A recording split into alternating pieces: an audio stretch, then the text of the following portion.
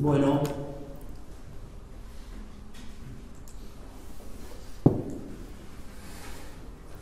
primero que nada agradecer la invitación y decir que esta invitación para mí tiene un sabor agridulce, pero podríamos sustituir la metáfora usando el término de ambivalencia. Me resulta muy grato venir a compartir con ustedes una serie de recuerdos, pero de un modo irrefutable, de un modo irrefutable, este compartir me confronta con el tiempo que ha pasado. Y el tiempo es una cosa difícil, difícil de, de sobrellevar. Yo estoy, estoy conforme, estoy bien con el tiempo que me ha constituido y que he llevado adelante, pero suele ser a veces un poco, un poco complicado. Coincidentemente con la invitación a las jornadas, me llegó una convocatoria del Colegio de Psicólogos como uno de los miembros, por no decir sobrevivientes, de los egresados ya hace 50 años. Yo en septiembre, como decía Rodrigo, a veces las fechas ayudan un poco, el 24 de septiembre egresé en el 65 de la facultad, no de la facultad, no, bueno. nada, era la carrera de psicología. Bueno, desde ahí hasta acá, como ustedes pueden darse cuenta, eh, ha pasado mucha agua bajo los puentes. Eh, tal vez en este momento pueda resultar yo una suerte de archivo parlante por la información que, que tengo y que voy a compartir con ustedes. Información que, poseo y que también en algún momento sufrido. ¿eh? Hemos tenido dificultades, hemos tenido muy serias, muy serios problemas con esta cuestión de la psicología. Eh, recordé en estos días, al ser convocado, que en una ocasión un siniestro, pero muy siniestro personaje, me dijo que el problema con los psicólogos era que le cambiaban el modo de pensar a la gente. Esto dicho en una situación, en una circunstancia muy fuerte, que no era, digamos, un mero comentario, era toda una, una amenaza. Estoy refiriéndome a, momentos del año 76.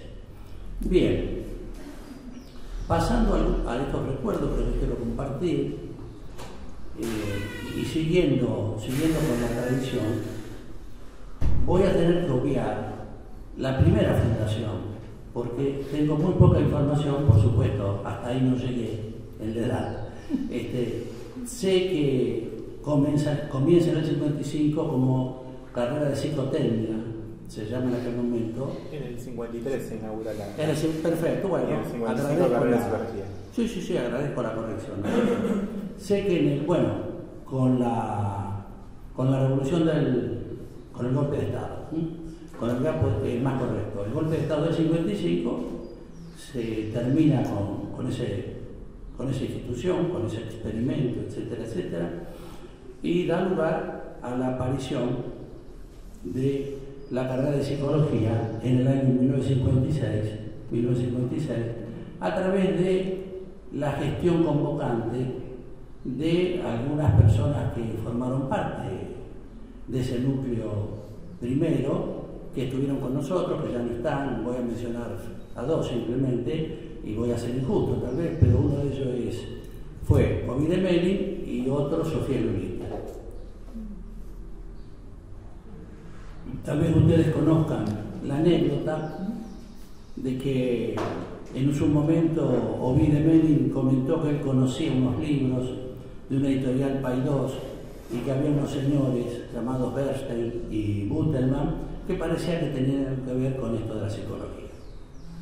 Bueno, ahí se inicia todo un, un contacto con, este, con, estas personas que eran a su vez dueños de una editorial, cosa que fue por supuesto, en su momento criticado, cuestionado, etcétera, etcétera. Y eh, comienza, la, comienza psicología como carrera en Calle Entre Ríos, como instituto de psicología en la Facultad de Filosofía y Letras, de, ubicada en Calle Entre Ríos. Ahí había distintos institutos, etc. El plan de estudios de esa, de esa carrera del 56 está muy influenciado por la participación de psicoanalistas, que es a donde van a buscar la posibilidad de profesores, en donde hay una, evidentemente una confusión entre lo que es psicología y psicoanálisis, confusión que yo creo que se ha trasladado a nuestra época.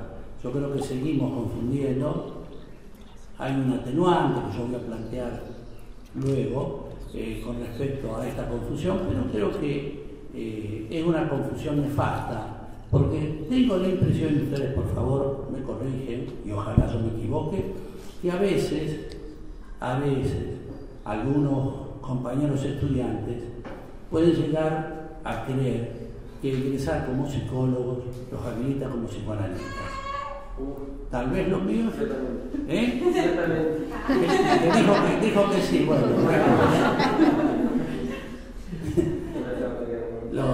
los niños y los borrachos dicen la verdad. Pero, no ser yo el borracho. Eh, bien, bien. Este plan de estudio bastante balanceado, o sea, psicoanálisis, por lo tanto, eh, apuntando a la clínica, fundamentalmente y especialmente apuntando a la clínica, bueno, da lugar a 10 años de trabajo bastante fecundo, bastante interesante. Habría que verlos en detalle, no, es el momento. Y llegamos, bueno, al año 66, sí, digo bien, al año 66, con el golpe, el nuevo golpe de Estado a India, eh, ustedes algo conocerán el tema ese, eh, se produce la noche de los bastones largos en Buenos Aires, y eso hace que nuestra carrera entre en crisis, además de lo, de lo general, una situación particular. Había un conflicto con los profesores viajeros. Los profesores que venían de Buenos Aires, que muchos eran, como les decía, psicoanalistas, habían entrado en conflicto con el centro de estudiantes. ¿Mm? Se les cuestionaba, eh, a veces con razón, a veces sin razón, y entonces había un malestar y muchos profesores yo lo voy a decir así, aprovechan esa circunstancia para renunciar. En, honor, bueno, la expresión, ¿no? Al centro de estudiantes le pedimos que no renunciaran, porque a pesar de que éramos bastante jóvenes, teníamos claro que no había que dejar las cátedras libres para que la dictadura lo, las llenara con sus personeros, pero eso no fue escuchado, hubo una serie de problemas bastante bueno, quedó devastada la. 1966 quedó devastada la, facultad. Con muchos temores porque se cuestionaba seriamente desde el Instituto de Salud Mental de la Nación el ejercicio de la psicología. Había un, director que se llamaba, ay, yo creo que se llamaba, bueno, no quiero decir el nombre porque puedo equivocar, y incluso un par de juicios en Buenos Aires, en Buenos Aires, a los psicólogos, a un psicólogo, a un psicólogo. Un profesor que teníamos nosotros en aquella ocasión, ya los, estos juicios fueron anteriores al golpe de Estado, pero ya venía todo un gran malestar. Y este profesor, llamado Tepper, Eduardo Tepper, un tipo que a mí me resultó siempre muy, muy grato, decía, miren chicos, chicos, Dice, nadie nos puede, nadie puede prohibir que ustedes se junten a conversar con una persona en una habitación y que después esa persona, si les quiere dar un dinero, se lo entregue. Hace una suerte así de situación ingenua, ¿no? Pero no, era tan ingenua. Bueno, el onganiato, terrible, terrible onganiato, en donde se pone en marcha un proceso de destrucción del pensamiento, mencioné el tema de los bastones largos, emigran los profesores, la, la gente de ciencias exactas de la facultad de la UBA se van, se marchan en masa, etcétera, etcétera.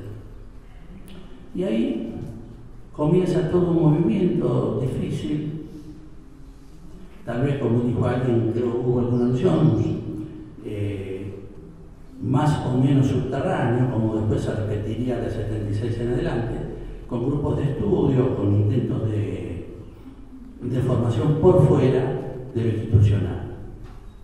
La, nuestra, carrera de, nuestra carrera de psicología quedó, quedó, como decía, devastada. Hubo algunas cuestiones que eran, podría uno decir, eh, risueñas, pero si no fueran trágicas.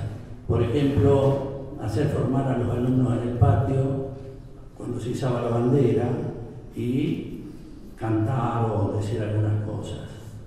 Eh, gente vinculada directamente a los servicios de inteligencia estaban actuando en la facultad, incluso si fueron o no de los servicios de inteligencia algunos profesores, eh, no me consta, pero sí que era gente de mucho cuidado y que posiblemente, posiblemente ya en aquel momento empezaron la, esa nefasta práctica de lo que se llamó marcar a las personas.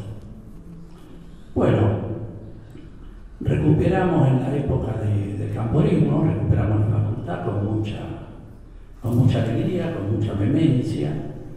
Yo creo, me atrevo a decir, alguien se lo conmigo, con cierta ingenuidad. Yo no participé, ¿eh? yo no participé institucionalmente en ese momento. Este, porque tenía diferencias políticas con las personas que se hicieron cargo de la facultad, diferencias políticas, y ahí, ahí queda la cosa porque eh, no iba más allá de eso, pero no compartía algunas cuestiones. Y como yo ya estaba muy metido, por decirlo así, en el tema del psicoanálisis, mm, bueno, me separé un poco de todo eso. No, Estuvimos por otro, por otro lado, haciendo otras cosas. En esa época teníamos funcionando el CEP, sigla que me, han hecho recordar acá los compañeros del CEP, el Centro de Estudios Psicoanalíticos, para mí muy grata memoria, y de, donde, bueno, donde se intentó hacer un psicoanálisis eh, distinto, distinto. Recuerdo que había un profesor amigo, muy amigo, que decía que había que hacer un psicoanálisis federal. Entonces, a partir de hacer un psicoanálisis federal, yo me encontré, viajando a Tucumán eh, a dar clases en, en, una filial de, en el CEP de Tucumán, con la cuestión de que un día estaba dando que estaba en Tucumán y el helicóptero volaba alrededor del, cerro, del Cerro de la Rosa en Tucumán, bueno, porque ya estaba eh, la lucha antiguerrillera en pleno, ¿no es cierto? Estoy hablando de 75. Bueno, como ustedes ven, ganiato, arrasamiento con la de la facultad, de la, perdón, es un, debe haber sido el deseo nuestro. Eh, arrasamiento, arrasamiento de la, de la carrera, una leve primavera camporita, compañeros que todavía están por acá dando vuelta trabajaron en aquel momento y rápidamente ya nuevamente el golpe de Estado que instala el terror.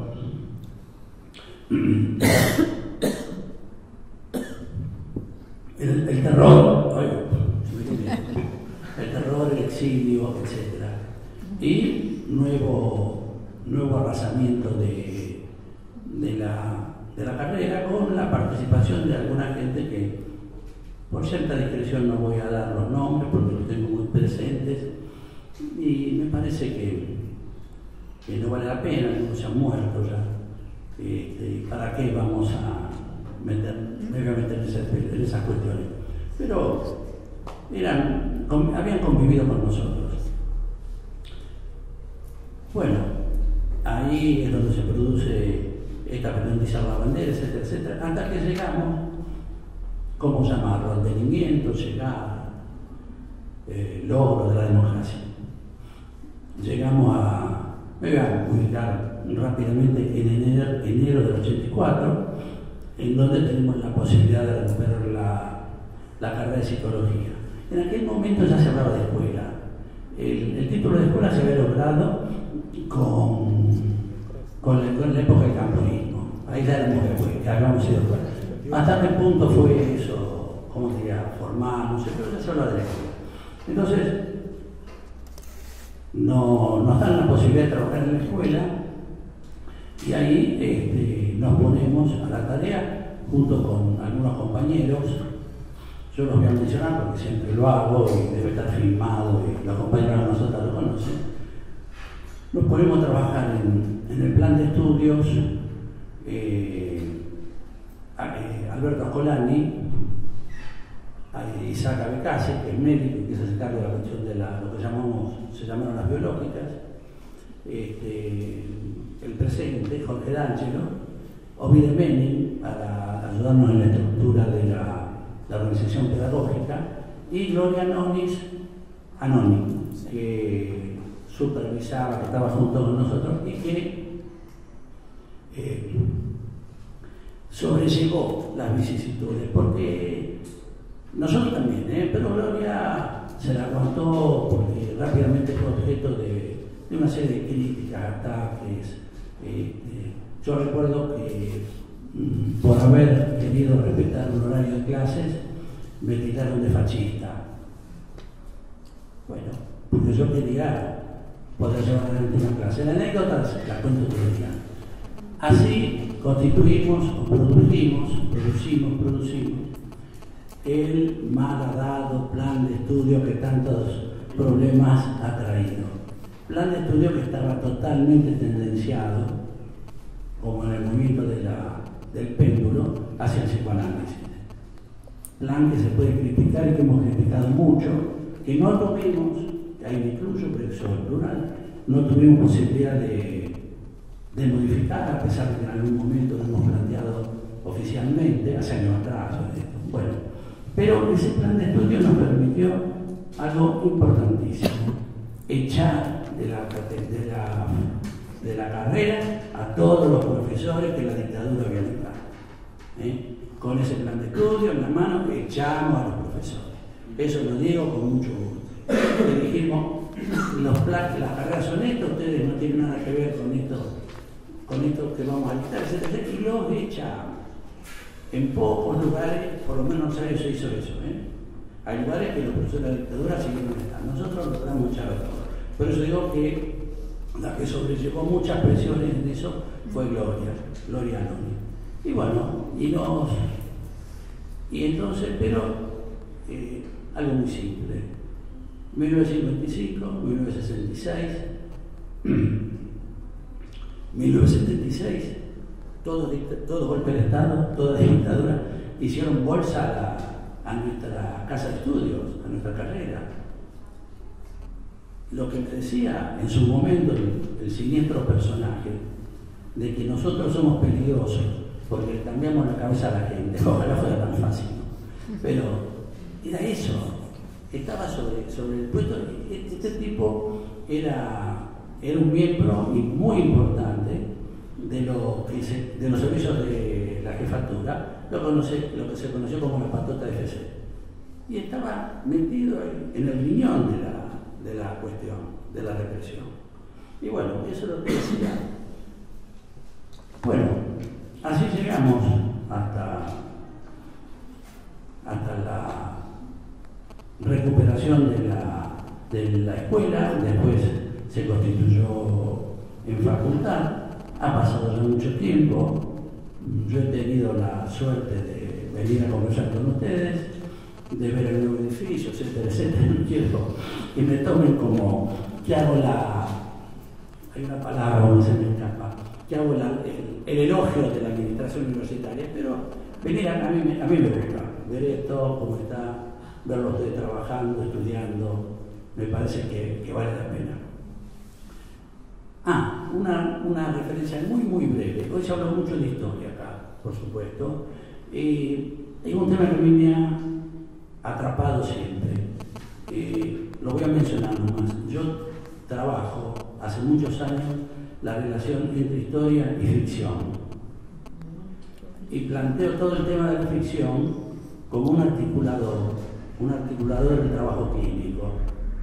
Y privilegio en mi trabajo, privilegio en mi trabajo, eh, la apertura a lo simbólico y por lo tanto a la construcción de esta palabra que está en boga, pero yo usaba antes, del relato.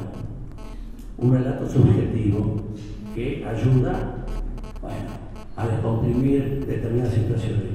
Por supuesto que no olvido acá la referencia necesaria y difícil de lograr en la clínica a lo real. El otro registro que están en juego, el imaginario simbólico real, un registro real, no es que retroceder ante lo real, etcétera, etcétera, pero yo no sé cómo todavía. Pero a veces, pero a veces, a veces, a veces y afortunadamente, no lo sabemos, pero lo hacemos. No lo sabemos, pero lo hacemos. Cuando tenemos suerte, cuando ha llovido, cuando en la primavera fructifican la, en los campos, las flores, a lo mejor algo logramos en nuestra tarea. Bueno, hasta que digo yo, ¿eh?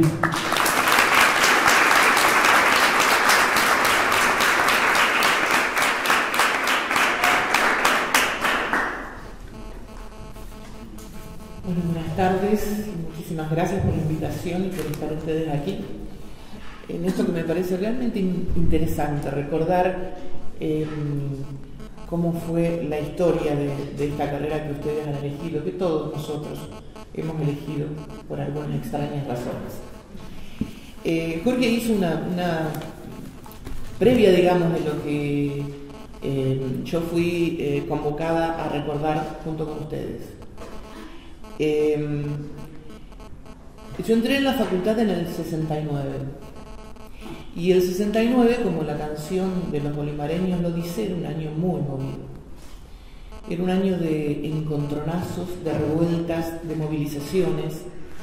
Estábamos bajo la dictadura de Onganía, que comparado con lo que después venía fue mucho más blanda, pero era muy, muy fuerte y muy pesada y persecutoria.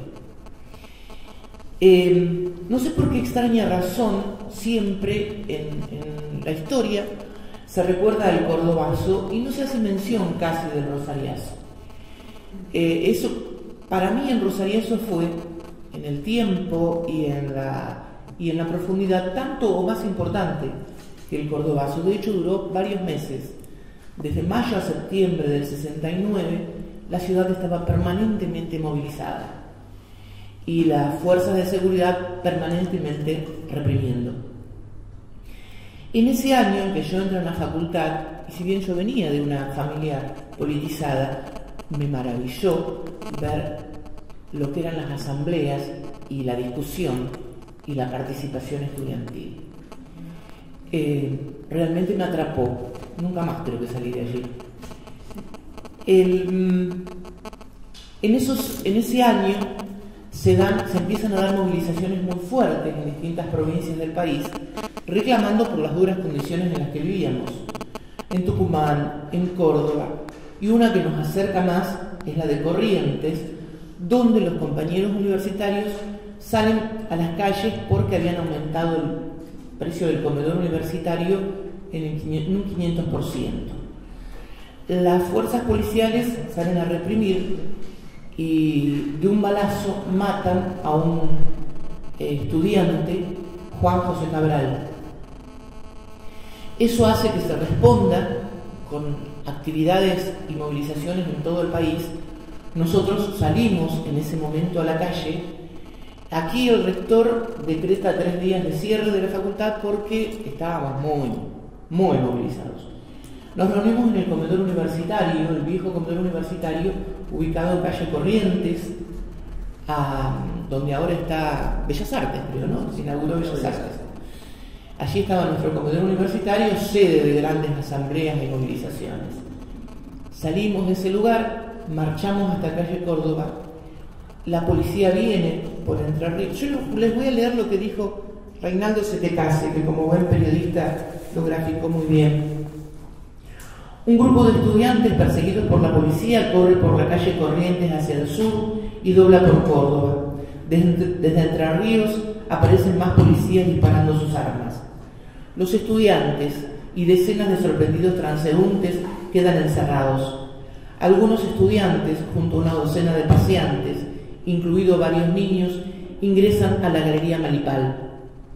El lugar tiene una sola boca de entrada y salida, por lo que otra vez quedan atrapados a merced de los guardias.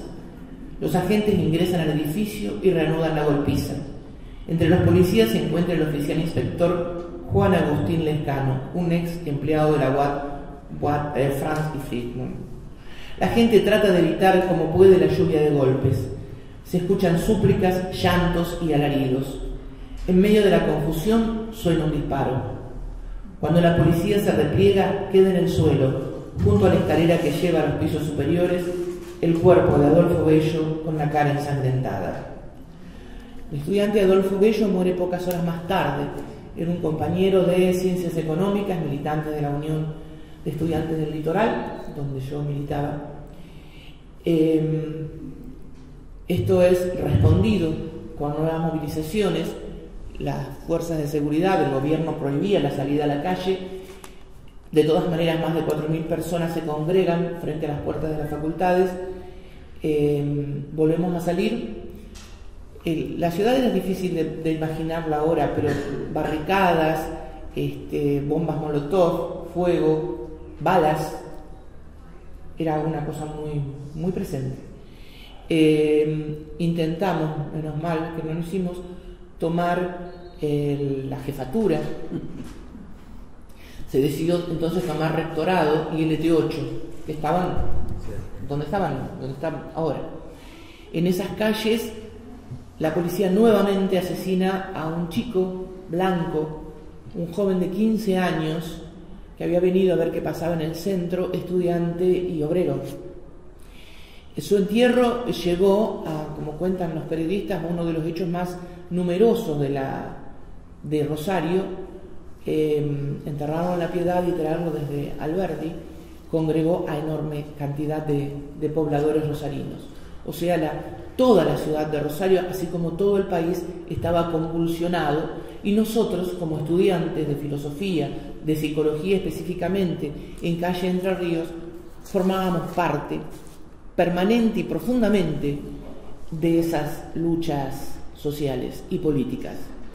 Pero al mismo tiempo nosotros participábamos muy activamente de la vida académica. Éramos este, así como éramos mm, militantes, también éramos muy buenos estudiantes. Estudiábamos mucho y nos preocupábamos por lo que estaba pasando en esto de la, de la currícula académica. Había habido unas experiencias en medicina llevadas adelante por Relén López Abad, por mm, Adriana Giai y por, en arquitectura, donde se empezaba a cuestionar las clases magistrales. Eh, nosotros tomamos esa experiencia y para variar las profundizamos. Eh, poníamos en cuestionamiento el saber dado desde un lugar, desde un profesor que dictaba frente a otro que solamente eh, recibía el conocimiento. Empezamos a plantear la necesidad de prácticas grupales, de trabajo en equipos y a cuestionar seriamente algunas cátedras que tenían que ver con lo social, psicología social, sociología, eh, cuestionábamos sus fundamentos, basados fundamentalmente en el pensamiento estructuralista o en el fundamentalismo.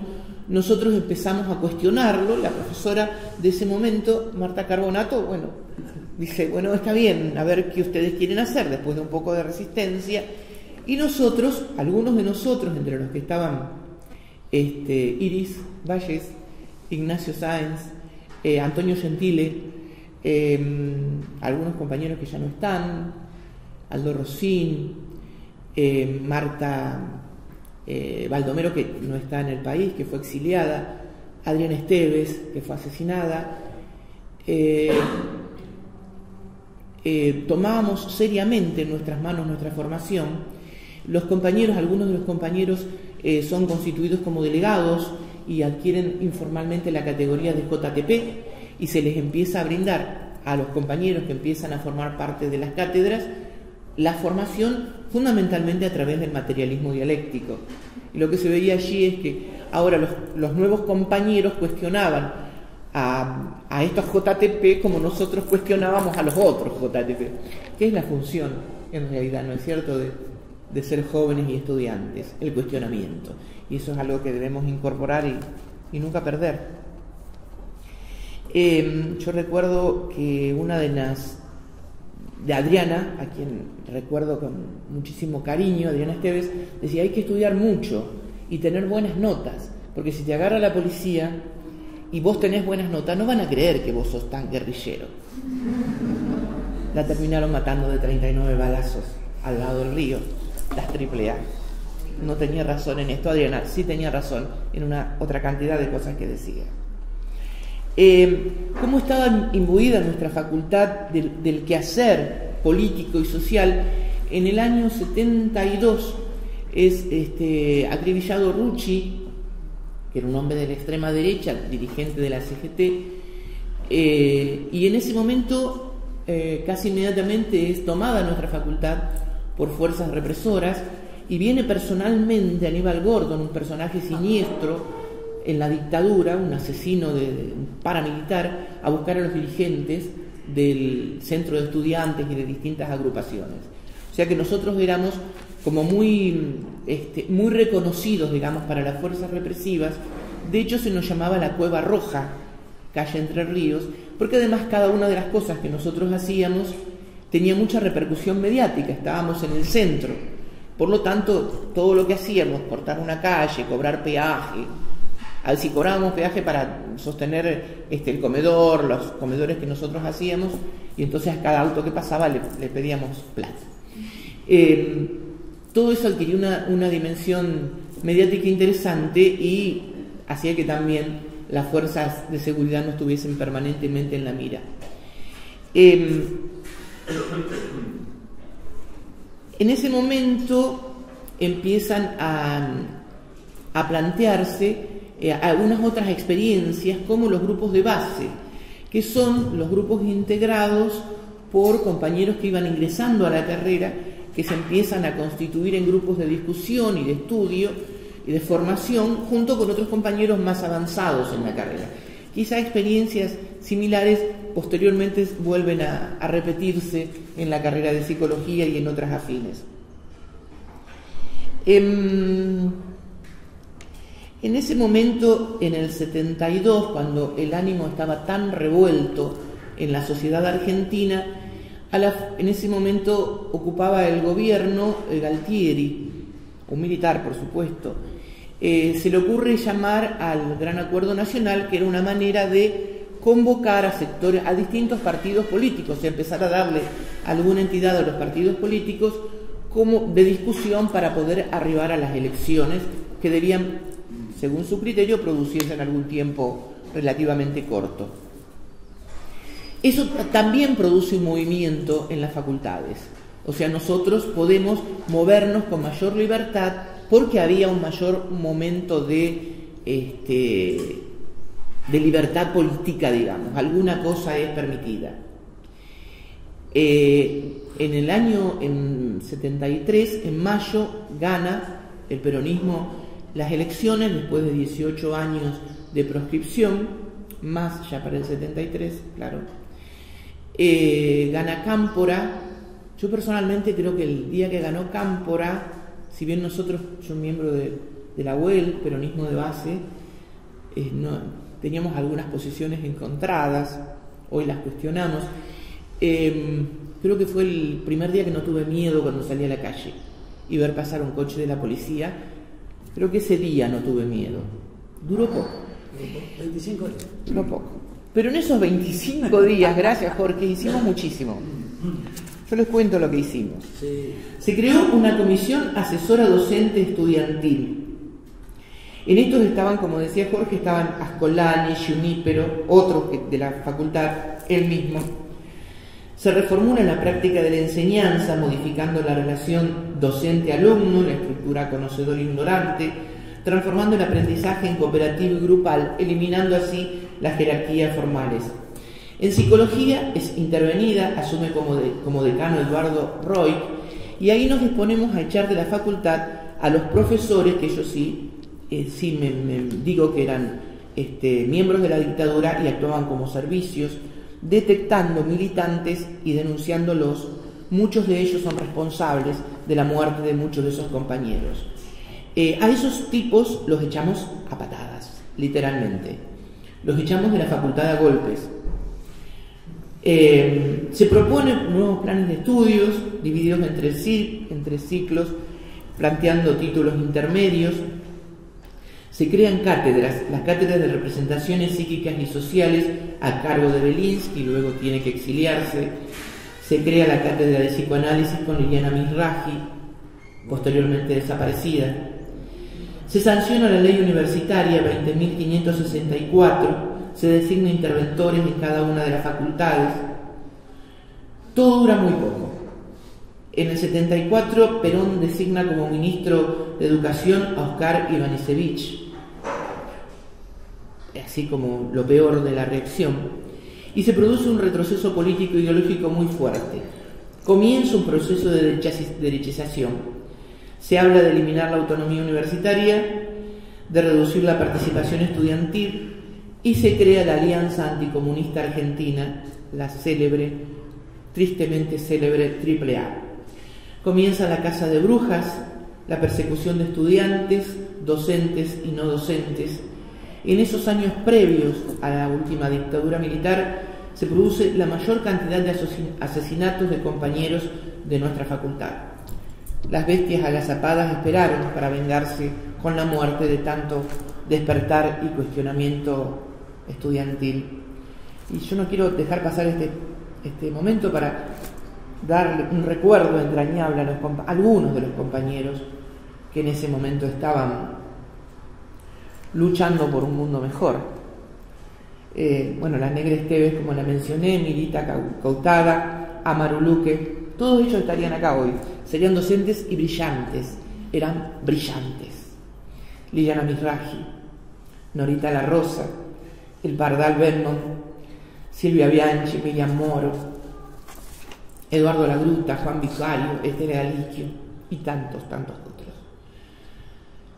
Cuando llegó marzo del 76, muchos de los militantes habíamos profundizado nuestro compromiso con la lucha eligiendo distintos caminos, distintos pero todos de relevante fuerza. Yo, como miembro del peronismo de base, había concretado mi accionar en los Fabril y Barrial y de hecho había terminado de regularizar mis materias en el 74, tal cual marcaba cómo debíamos hacer, eh, y había dejado cuatro materias sin rendir porque era más fácil militar en la base siendo estudiante que profesional. Y nosotros decíamos. Eh, al llegar al golpe dije, me arriesgo y rindo porque nunca más, no me equivocaba. Entré para rendir las últimas materias los, los profesores habían casi renunciado masivamente y aquellos que habíamos echado a patadas habían vuelto. El que los dirigía en ese momento antes era Santa Cruz, luego vuelven de la mano de Arango. Diez tipos, no eran más, se dividían todas las materias. Eh, muchos de ellos no se habían recibido. Yo los escuché y decían, este, yo no rendí todavía esa, pero la rindo el viernes y la puedo tomar el sábado. Diez. ¿Mm? Luego ingresaron más.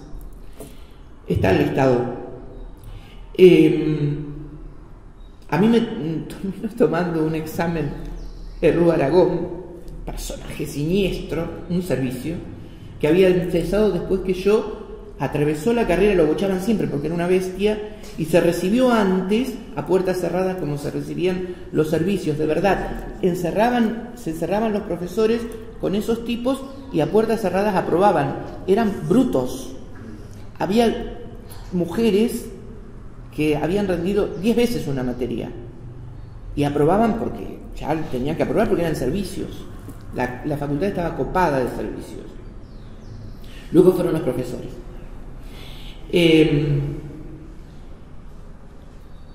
se cierra la carrera un año en casi todo el país en psicología. Nosotros este, realmente nos consideraban peligrosos Yo pienso que nos sobreestimaban. Eh, y al volver habían modificado toda la currícula y la estructura de universitaria. Bueno, en los años del, a partir del 76 la represión y el silencio se apoderan del país, pero nosotros, muchos de nosotros, los que pudimos sobrevivir y los que pudimos no exiliarnos, muchos continuamos luchando de una u otra manera. La PDH y familiares de detenidos convocan a algunos psicólogos porque necesitaban de nuestra ayuda en su crítica situación. Yo allí fui en el 77 y nunca más abandoné ese espacio hasta el día de hoy. Y no es por casualidad que muchos de aquellos compañeros que habíamos participado de esa gesta universitaria, poco tiempo después, todavía no había terminado la dictadura, eh, empezamos otra lucha.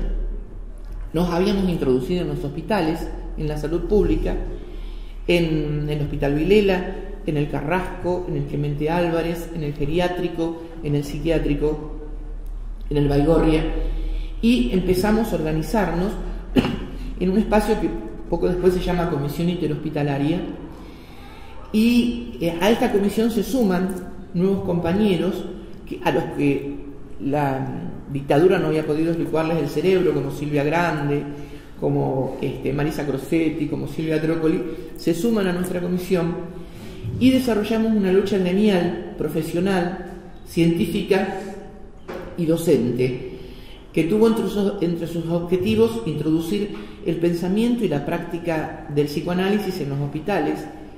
Antes, yo he escuchado decir que el, psicoanálisis era para el consultorio privado y que la gente iba a los, hospitales a que le ajusten tuercas, no a conocerse a sí mismo. Este, no acá lo escuché, ¿eh? en la NUCI. Eh, no aceptar la tutela médica de nuestra profesión, había salido una ley, la de Yerena Amadeo, que nos ubicaba solamente como auxiliares médicos. Nosotros no podíamos ejercer la práctica eh, individual y profesional. Resistir las leyes que nos convertían en estos, crear servicios de psicología en los hospitales, introducir nuestra práctica en las salas y en los distintos servicios hospitalarios, siempre reservados para el área médica, y la interhospitalaria se convierte realmente en un referente nacional y en un modelo para otras experiencias similares en un momento de gran efervescencia. O sea, una vez liberados de la dictadura, nosotros empezamos a, ocupar lugares importantes dentro de la salud pública. Y tampoco debe ser casualidad lo que nos sucede en los años posteriores. En lo personal, en mi experiencia como, estudiante en esos años eh, maravillosos por su efervescencia y terrible por sus consecuencias, creo que me formó y reforzó en una posición ideológica y una postura ética que me permitieron poner la práctica y la profesión adquirida eh, en función de una lucha que no ha menguado con los años y que luego de haber participado en muchas experiencias de organismos de derechos humanos, bueno, hace años milito en la Asociación Anaí, que es una asociación dirigida y fundada por las fundadoras de Abuelas de Plaza de Mayo. Eh, intento acompañar eh, en otro, otro sector olvidado, que son los veteranos de guerra de Malvinas, y eh, que realmente son las últimas víctimas directas de la dictadura militar. O sea que luego de esta larga historia, iniciada en parte en aquellos años, creo que me encuentro parada en la defensa de los derechos humanos eh, fundamentalmente en la búsqueda del respeto por la libertad y por la identidad. Muchas gracias.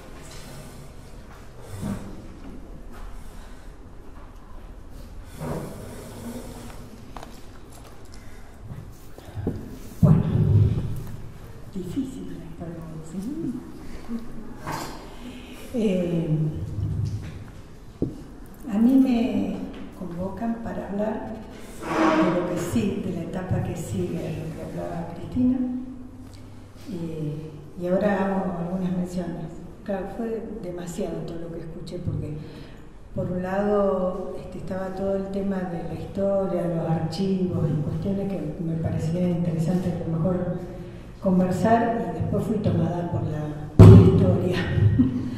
Eh, están los archivos y están los testimonios. Y, están las vivencias, están las experiencias de estas cuestiones.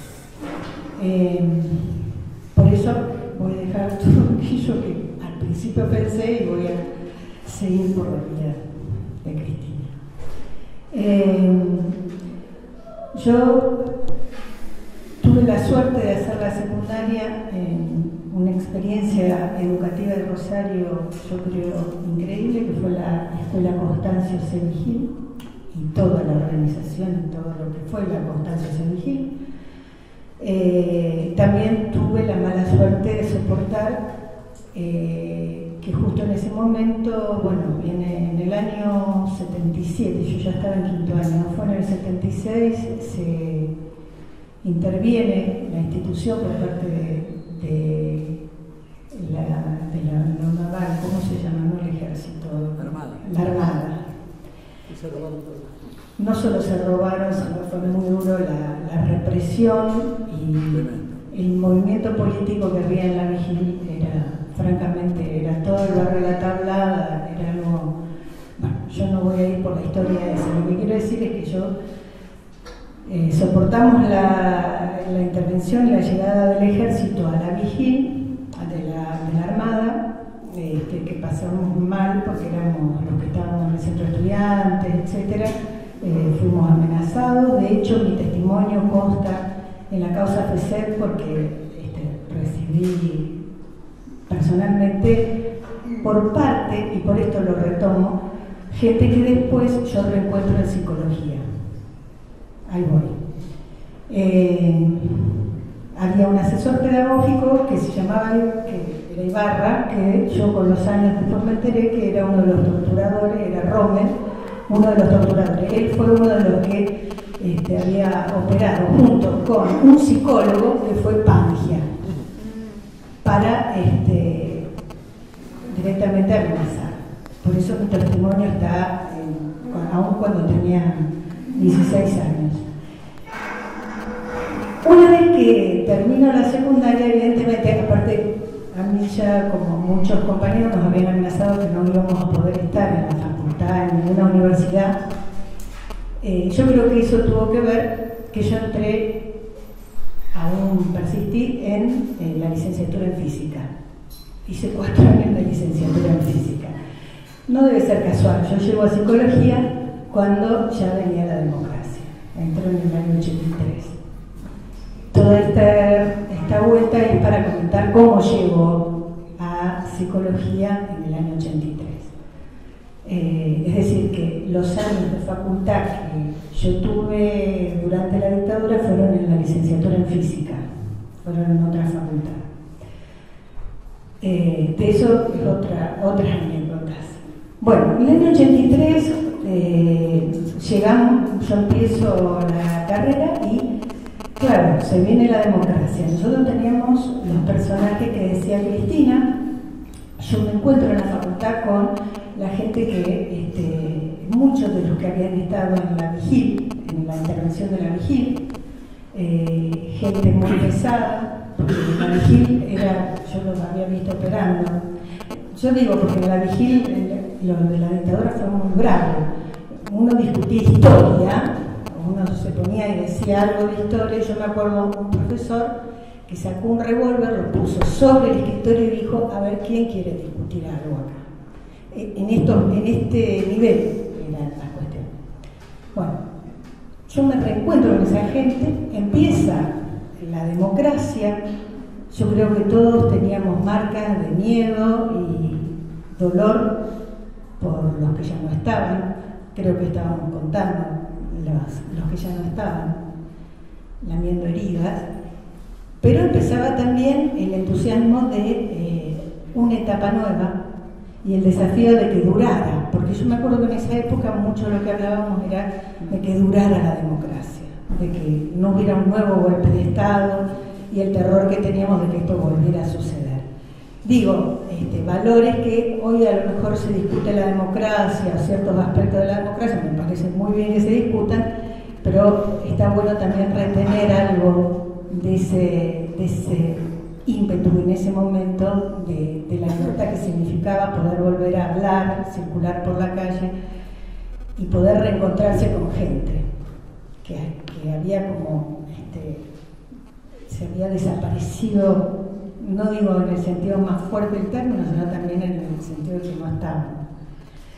Em, bueno, entonces en el 83, ahora me voy a poner un poco más optimista, los centros estudiantes una época todavía marcada también por el macartismo. Yo venía de la Facultad de Ingeniería, entonces, bueno, era qué estaba haciendo ahora en esa facultad, como decís vos, seguía gente que uno sospechaba, decía, mira, fulanito, ten cuidado, que puede ser de los servicios, eh, macarteadas, es decir, que vos, el fulano es de tal cosa, bueno. Pero lo que había era una, una posibilidad que se abre, yo voy a ver algunas cosas que dijo este Jorge, desde el punto de vista de los estudiantes. Eh, se aparecía la posibilidad de cambiar ese plan de estudio, que era el plan de estudio de la dictadura, que era este, una estrategia para dejar afuera a docentes muy involucrados, por eso, con, la dictadura. Y entonces ese cambio era político y a la vez este, renovador de los contenidos que allí se daban. Eh, una cosa que yo, a mí me llama la atención es que actualmente yo escucho como una revalorización de Jung.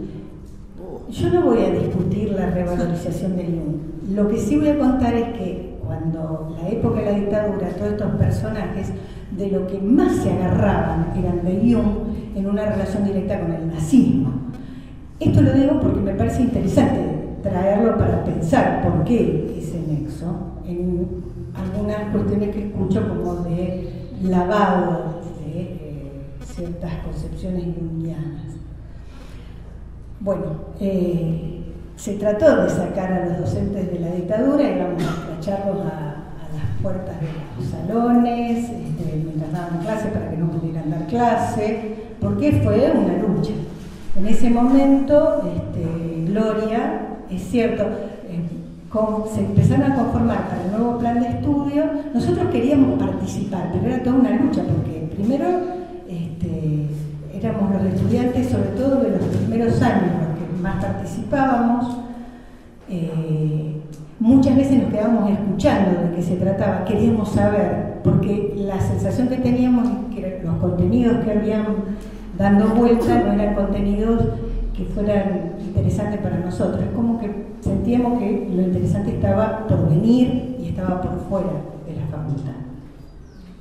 Se dio la situación como la mía de muchos que volvieron a la carrera, este, o sea que había mucha gente que volvió a otra carrera o que la había dejado y la retomó, gente que había, no había podido rendir tal vez sus últimas materias y volvían después de muchos años. Eh, y empezamos a participar en comisiones que se armaron. Supimos que se discutían dos planes de estudio primero. Uno era de Alberto Ascolani y el otro era de Meni. Nosotros no estuvimos en la posibilidad de pelear sobre esos dos planes de estudio, sino que a nosotros se nos dijo que lo que venía era el plan de estudio de Ovidemeni. Eh, allí empezamos, sí, nosotros pensar y a retomar con distintas personas. Ah, me tengo que terminar ya. No dije nada. ¿Cómo, Que ya me dijeron que tengo que terminar. bueno, lo que hicimos fue participar a través de comisiones en, en la conformación del plan de estudio. Nosotros participamos en comisiones que decían de estos distintos espacios y yo lo que, ya que no tengo mucho tiempo, lo que sí quiero rescatar es que para nosotros fue una reivindicación que ingresase un montón de cuestiones del psicoanálisis que hasta ese momento no estaban. A mí esto lo quiero subrayar porque eh, posteriormente yo vi en la facultad distintos procesos donde el psicoanálisis se volvió hegemónico y por lo tanto pasó a ser como una especie de enemigo. Para nosotros era al revés, era lo que estaba por fuera y era la reivindicación que viniera el psicoanálisis y que además viniera Lacan, que Lacan por supuesto no existía. Es llamativo porque en realidad el Lacan que ingresa es un Lacan despolitizado y tal vez histórico, pero era lo que había en aquel momento y era aún así una reivindicación. Son eh, estas cuestiones de las contradicciones que a veces se operan, o siempre se operan, lo conflictivo. Entonces, el ingreso de Lacan es raro porque, mm, digamos, uno podría decir, no era un discurso revolucionario y mucho menos era el discurso de la lectura de Lacan de aquellas épocas, de esos momentos. Eh, sin embargo, el efecto era en la discusión y en la posibilidad de revisión de los viejos contenidos, sobre todo de los este, de aquellos que habían estado profesores de la dictadura, algunos quedaron, ¿no? fueron todos los que se fueron. Yo me acuerdo que algunos quedó que tuvieron que encontrarle alguna vuelta y que supuestamente estaban menos vinculados. Pero de cualquier manera salieron la mayoría de los dos. Y esto fue una diferencia en el cambio de plan de estudio, porque yo les decía a los chicos de la Mazota que ese cambio de plan de estudio en realidad no era para la continuidad, no había que pensar la continuidad de los docentes, sino que era al contrario, era para generar una ruptura con lo que había hasta ese momento. E insisto, era eh, muy importante para todos nosotros la presencia del psicoanálisis y la llegada de los docentes que habían quedado por fuera de la facultad y que volvían muchos o que también habían tenido mucho renombre, habían estado trabajando en los grupos de estudio y también en ámbitos privados que de pronto volvían a poder ser integrados en la facultad, en la universidad, para ser eh, escuchados y leídos y discutidos, ¿por qué no? Eh, en esos años fue muy mucha la pasión por el saber, porque me parece que la dictadura lo que había operado era como una sensación de que el saber no estaba permitido. Entonces, como estudiantes, yo lo he escuchado decir de docentes de, esa época que recuerdan, porque estábamos muy movilizados. Eh, queríamos saber, queríamos este, poder llegar a eso que estaba vedado, que había estado vedado y a las personas que habían estado Yo me acuerdo que cada vez que volvía, a lo mejor alguien que había estado exiliado y venía a dar alguna charla, íbamos todos a ver qué podía decirnos de nuevo. Hay mucha pasión por enseñar, por transmitir. Nosotros queríamos saber y había una pasión muy grande por parte de los docentes. Seguramente, los docentes también tenían muchas ganas de, este, de hablar y de retomar lo que habían dejado. Eso también es cierto. Eh, sobre el Aragón que vos eh, a nosotros nos tocó yo lo que quiero es que si alguno tiene la posibilidad, tiene ganas, lo googlee, porque aparece dando un discurso nazi impresionante, ¿eh? hablando de las fuerzas este, misteriosas y de la sinergia internacional, es impresionante. Usted, me gustaría que lo googlee porque ese era docente de la Casa de Psicología. Que eso uno puede decir, bueno, este, puede haber docentes mejores, docentes peores, pero eso, eso es otra cosa. Eso ideológicamente era otra cosa y otra cosa era el impacto. Creo que el impacto mayor era el miedo, que las cosas que se decían y cómo se decían. Eh, me apuraste, ahora ya no me acuerdo lo que tenía para decir. Eh, cuando hicimos eh, los estudiantes nos encargamos, cuando se hace el cambio de plan, eh, estaban todos los que ya habían hecho gran parte en el plan viejo y había que hacer equivalencia para pasar al plan nuevo. La idea fue, discutimos y dijimos, bueno, no, tienen que pasar todos al plan nuevo. Los, no quería nadie quedarse en el plan viejo y además el plan viejo significaba que quién iba a tomar esos, esos exámenes, tenían que ser los docentes de la dictadura. Entonces había que pasar a todo el mundo al nuevo plan, lo cual implicaba este, un ajuste drástico lo que hicimos, esta fue una participación muy activa de los estudiantes que estábamos en el centro de estudiantes, fue organizar seminarios que hacían de equivalencia para pasar de las viejas materias a las nuevas. Esos seminarios de equivalencia además implicaron que volviera mucha gente que no estaba en la universidad y que se acercó y aceptó, incluso alguna gente que no quedó después en la, facultad dando clases, pero se acercó para este, poder hacer este pasaje, esta bisagra de una cosa sobre la otra. Los años 80, me parece a mí, hasta el año 87, si mal no me equivoco, que fue la que nos convertimos, no, en facultad fue en el 87, y cuando vinimos acá, claro, no, y nos vinimos, no, 87. Sí, 87. 87, 88, ah, 89 no vinimos, por ahí. Eh, estas cosas de que no, necesitamos los documentos, necesitamos los archivos para saber la fecha. Lo que tenemos nosotros es la memoria de, los que participamos.